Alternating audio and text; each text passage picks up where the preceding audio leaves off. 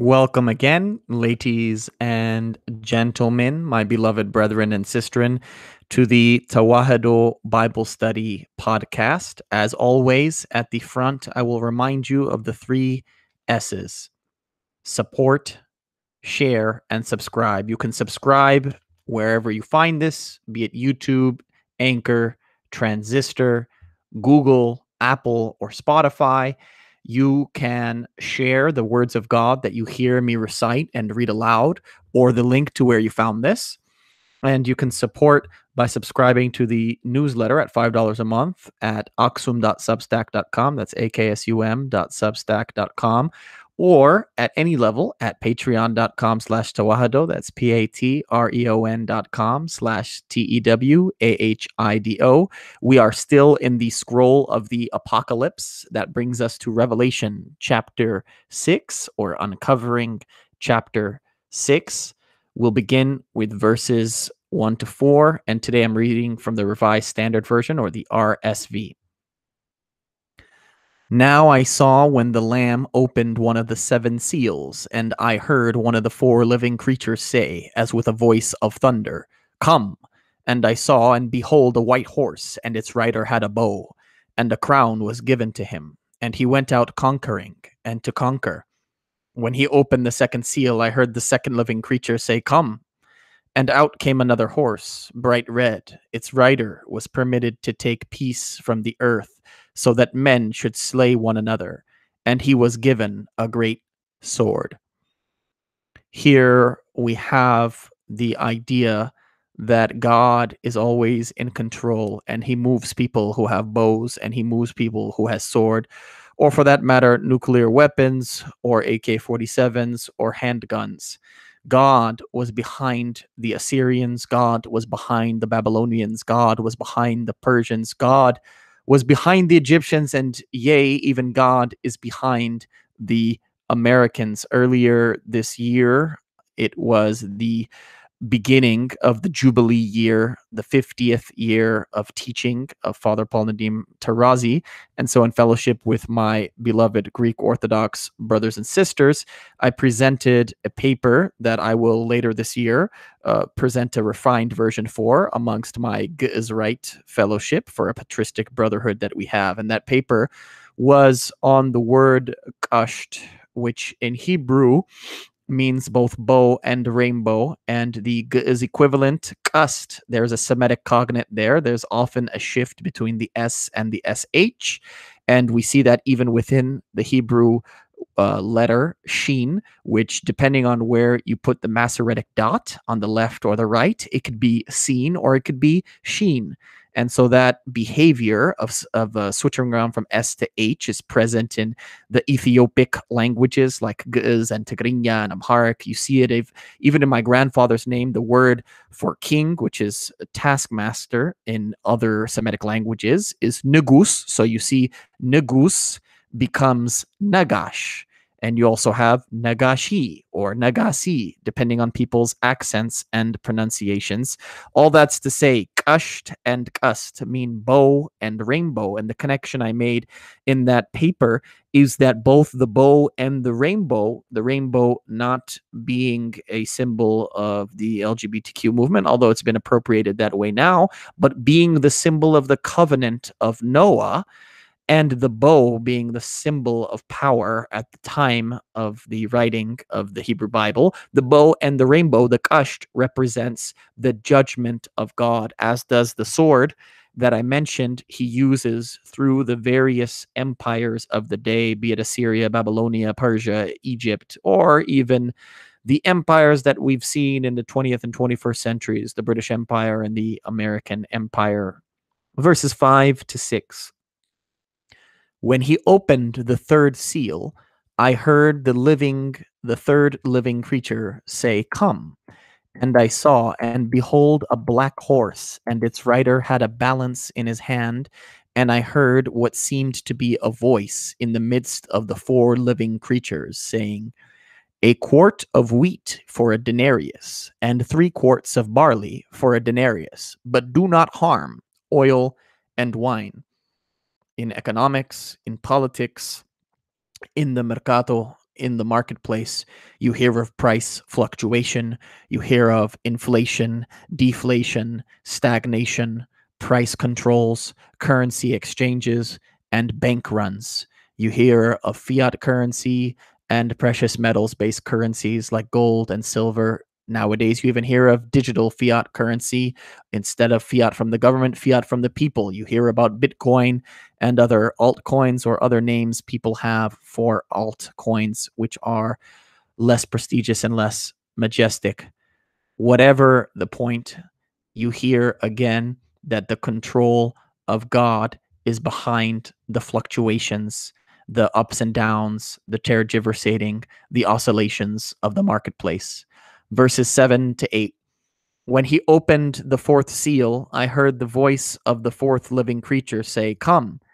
And I saw, and behold, a pale horse, and its rider's name was Death, and Hades followed him, and they were given power over a fourth of the earth to kill with sword and with famine and with pestilence and by wild beasts of the earth.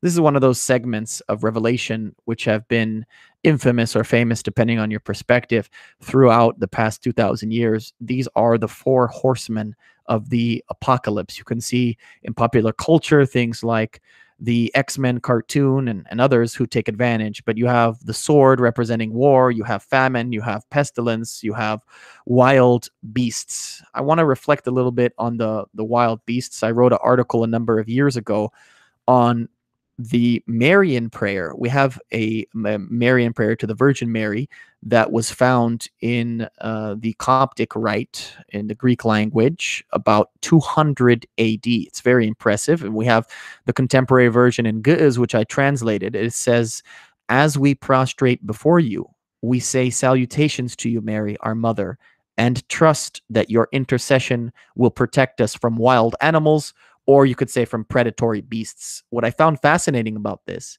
is that you see the combination of famine and wild beasts in the scroll of Ezekiel. You see that in chapter 5 of the scroll of Ezekiel. But then when you go on to chapter 34 of the scroll of Ezekiel, you find that the connection is made between these wild animals or these predatory beasts and false teachers and false prophets. That is, prophets who do not function in the right way, who do not have thoughts, words, and deeds aligned with the thoughts of the Lord, of the Debar Yahweh, of the Word of God. And so the line in Ezekiel chapter 34 says, They became food for all the wild animals.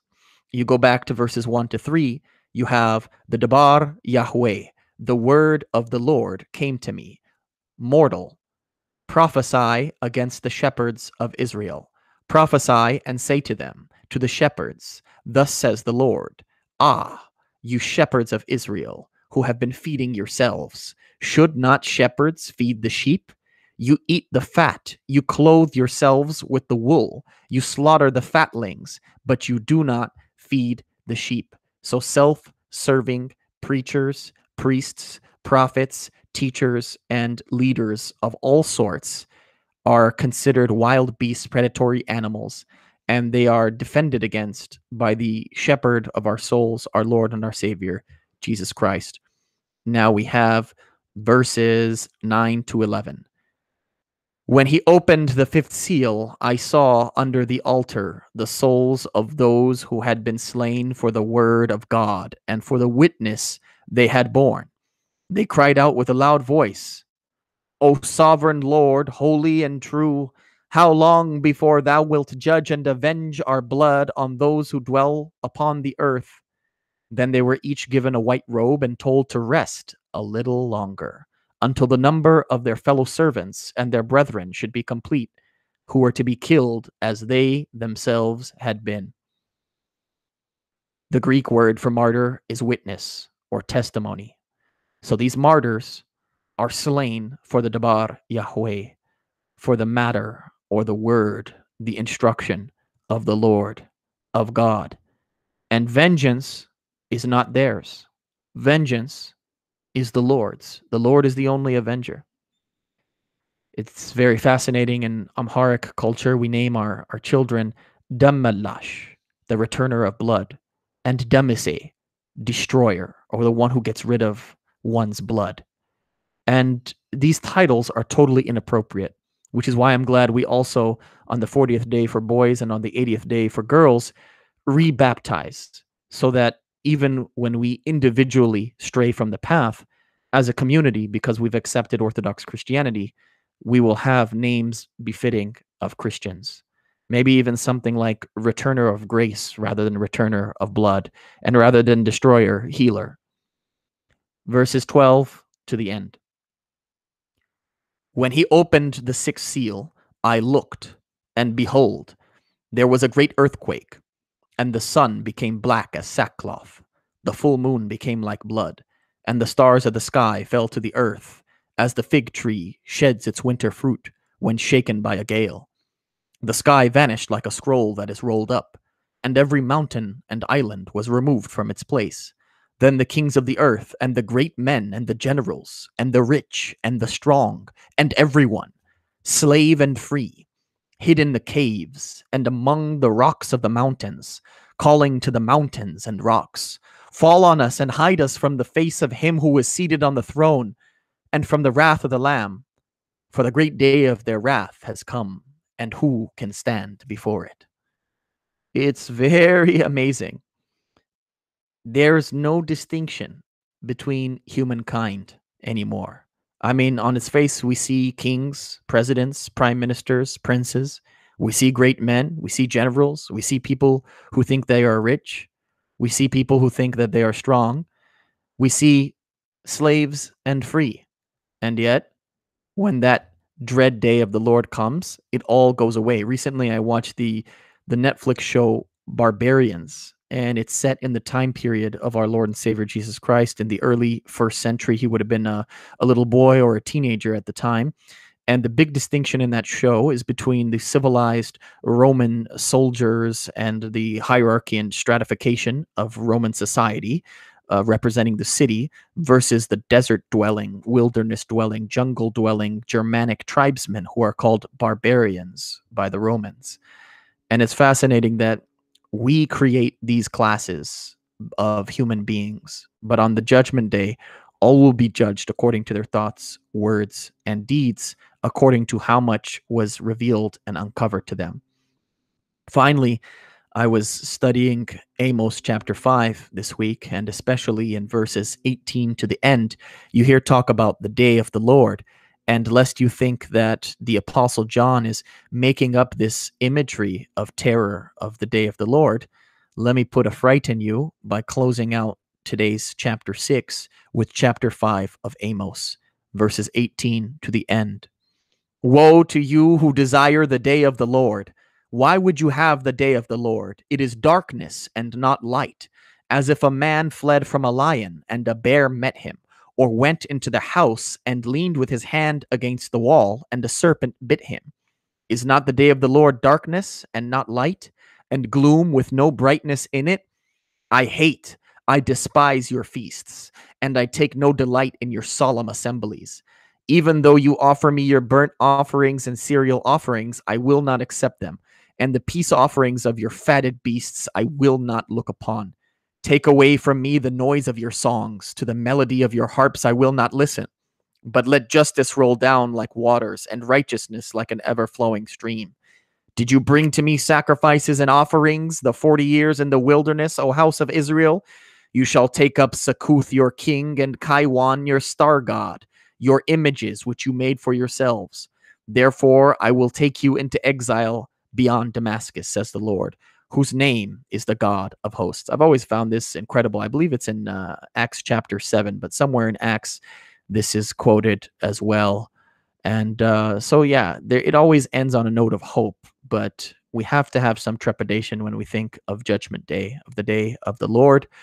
Glory to God for all things, and may He make us unashamed at His second coming.